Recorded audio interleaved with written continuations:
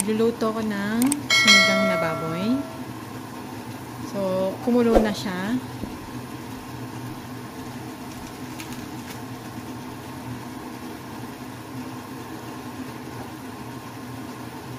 Lalagay ko yung kamatis.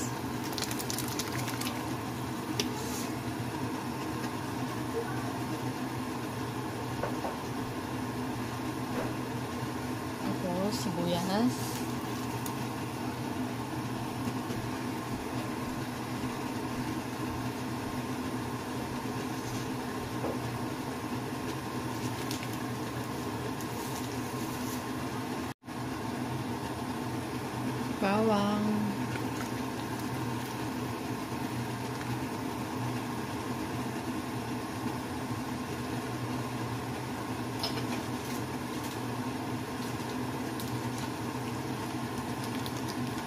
Sinigang mix.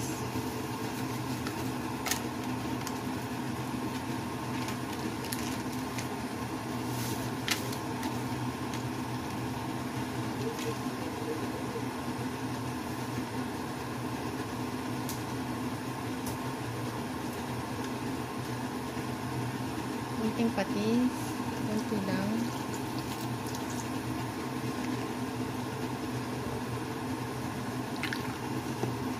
Tapos, pakuluin ulit natin.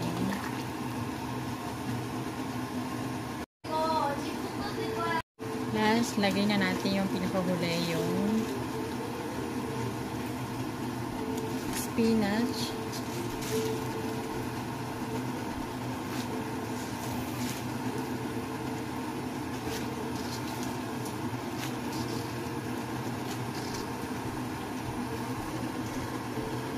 Masyadong wala akong gulay. Ito lang.